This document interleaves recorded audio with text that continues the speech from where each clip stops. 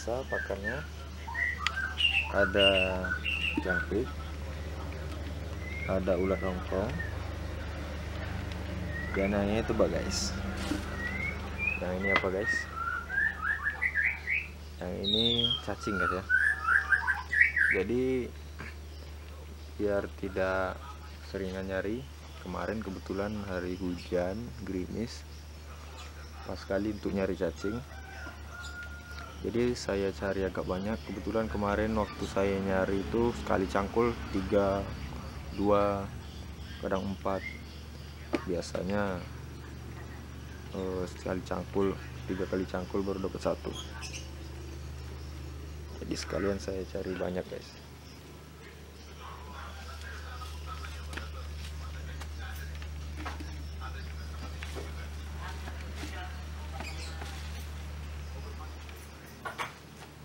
guys untuk menghemat waktu ya guys. Jadi cari banyak-banyak. Nih biar awet. Naruhnya di situ guys. Ini dapat apa namanya tuh toples ya. Tapi sudah saya bolong-bolongin ini guys. Tuh.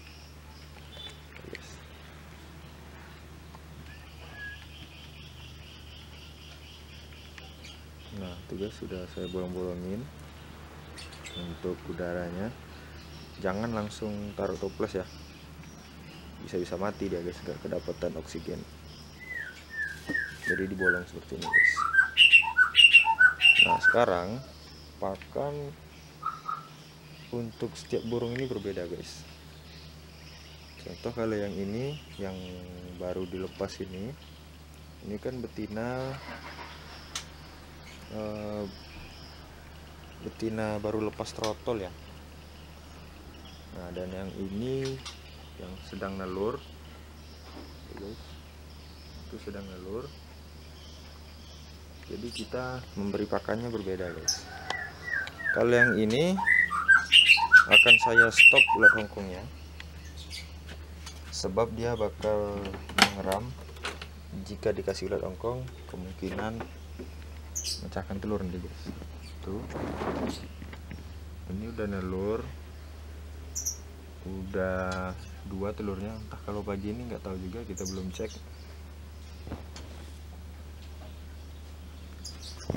Jadi yang ini paling saya kasih jangkrik sama cacing guys. Jangkrik dan cacing ini jangkriknya masih ada sisa ya guys. Kita kasih sama ini aja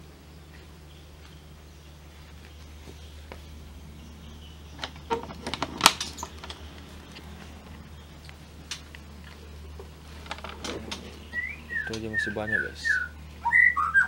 Tuh, masih banyak. Kita kasih sini.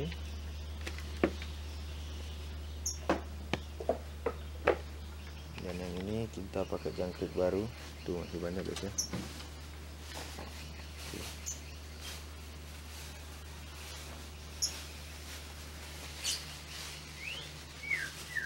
Ini cacingnya.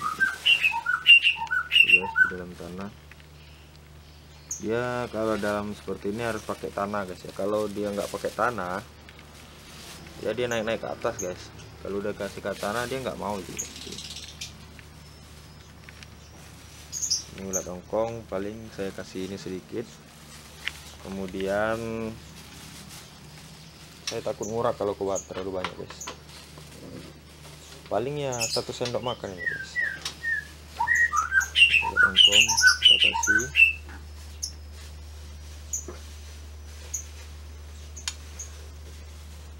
dan untuk yang kandang satu lagi. Nah kalau untuk kandang yang satu lagi itu masih nggak apa-apa guys. Dikasih full puding.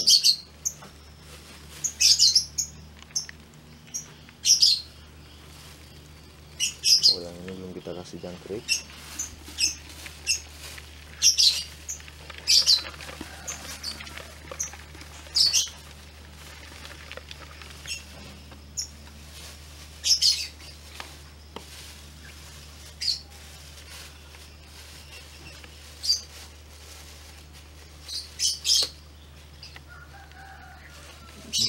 kasih jangkrik uh, ininya kita stop guys. Ulat hongkongnya kita stop dulu yang lagi bertelur ini.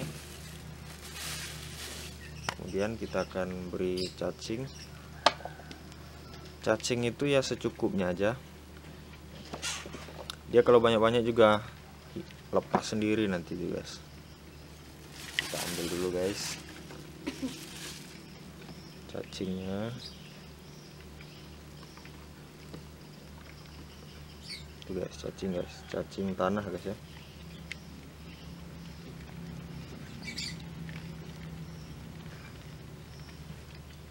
Kita letakkan di sini saja. Nanti kan dipisah. Kita kasihnya ya empat-empat aja dulu. Nanti kalau siang masih kalau dia kurang kita ambilkan lagi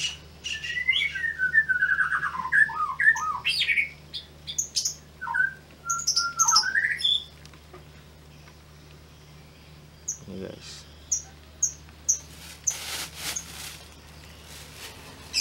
Kalau cacing ini nggak apa-apa guys dikasih. Soalnya dia kan proteinnya tinggi dan tidak panas dingin sifatnya ini guys. Beda kalau kayak ulat hongkong ya. Hmm. kalau cacing ini nggak apa-apa guys. Akan kita pindahkan dulu guys ke sini. Nah cacingnya. Kita letakkan di sini. Guys. Lu daripada nanti kasihan si cacing dihajar jangkrik ini guys. Kita pisahkan dulu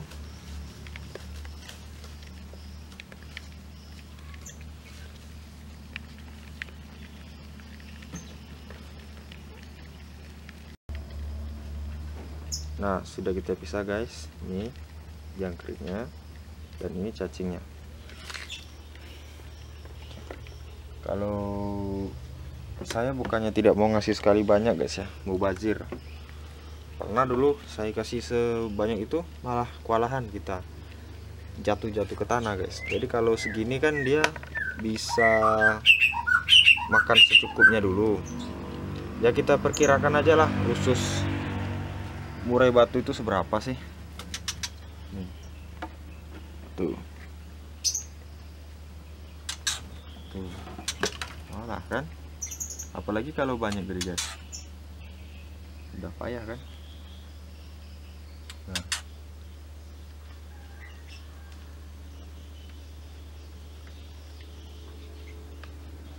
Tuh kita kasih jangkriknya itu yang buat saya malas kalau ngasih banyak-banyak guys. Cacingnya kebanyakan kabur ke tanah. Tuh biar dia kan aja guys ya. Kita biarkan airnya kita ganti nanti guys. Air harus ganti tiap pagi ya.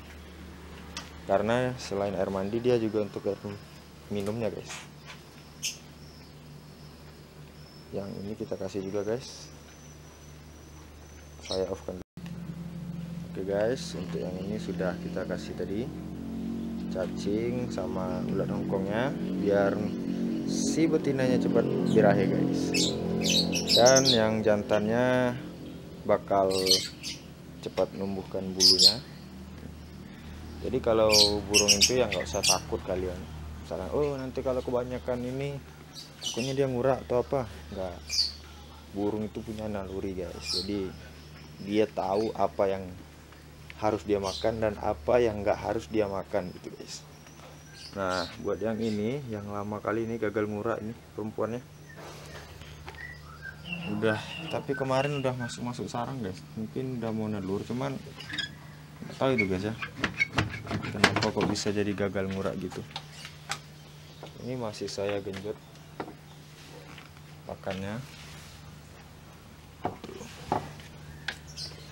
ya jangkriknya masih banyak ya bisa. Nah.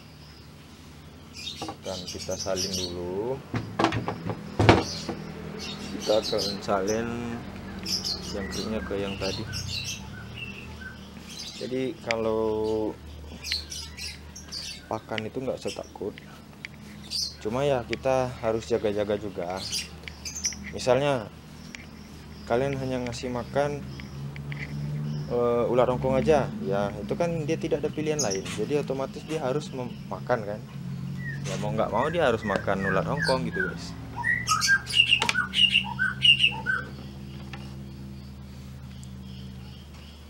Ini kita kasih makan. Ini udah banyak makanan yang sini. Tuh. tuh makanannya guys nah ini jantan apa perempuan guys. Nah, nanti kita akan lihat guys ya. Tuh lihat ekornya. Oke.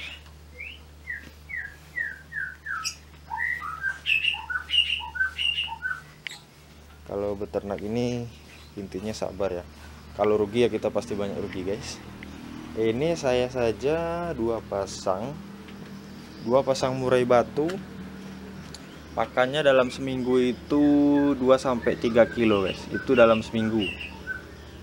Kalau sebulan ya kalikan aja guys. Sekitar berapa? Yang mati kita buang. Guys yang mati. Ini kalau misalnya tagnya udah terlalu banyak kita bersihin ya. Ini nggak terlalu sih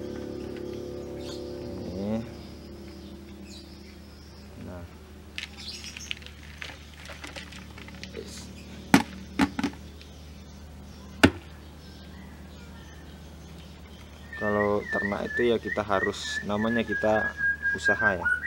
Beternak sendiri ya. Otomatis kita harus rugi dulu. Atau kalau memang mau beli yang produksi otom positif produksi kalau sanggup duitnya ya nggak masalah. Kalau positif produksi di tempat saya nggak tahu kalau daerah Jawa ya. Tempat saya di Bungkulu kisaran 12 sampai 20 jutaan guys. Satu pasangnya itu tergantung indukan. Mungkin semakin mahal ya semakin bagus kualitasnya guys ya. Tapi jangan kadang ya peternak itu udah pintar guys ya. Bukannya saya nakut-nakutin. Nah pintarnya gimana? Posisi burung sudah mau ngurak dia jual guys. Tuh ini udah menanti. Jadi posisi udah mau murah itu burungnya dijual. Kemudian ya dia namanya penangkar besar kan dia sudah paham dan sudah banyak persiapan ya. Intinya itu dia sudah punya indukan banyak peranakan dia sendiri kan hasil anakan dia yang disimpannya. Nah tinggal nyari jantanan. Palingan jantanan ya bisa lah dia beli harga miring lah kan. Dengan kalau kalau udah lama itu pasti tahu guys gimana burung yang udah siap gimana burung yang belum siap untuk ditangkar.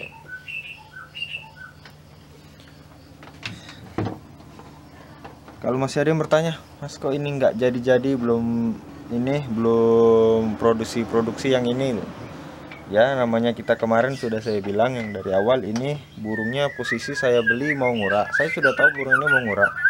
Cuman saya sir ekornya panjang guys. 14 cm indukan ini ini karena lagi ngurak ini guys. Belum lagi dorong ekor. Makanya saya sir saya pikir-pikir kan biarlah sengsara dulu. Yang penting nanti bahagia. Nah, kira-kira begitu guys kalau kita beli indukan biasa sih banyak sebenarnya ya. Ini mau saya ganti indukannya juga kasihan guys sudah terlalu jodoh. Ini di bawah sarangnya sudah full. Tuh di sana juga udah. Kalau nggak percaya kita bisa lihat di sini. Ini bukan manusia loh yang buatnya guys. Maksudnya yang nyusun sarangnya. Ini memang burung. Bentar guys ya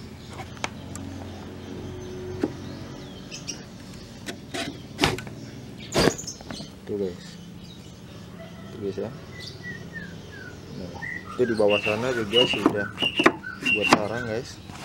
Tapi ya kalian lihat sendiri ini kondisi indukannya seperti itu. Nah.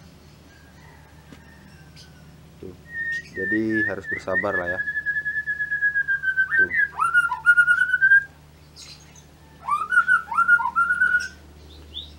Oke guys cukup sekian video hari ini jangan lupa komen dan subscribe ya guys video saya agar kalian bisa mengetahui video saya selanjutnya dan perkembangan penangkaran sederhana di tempat saya ini guys.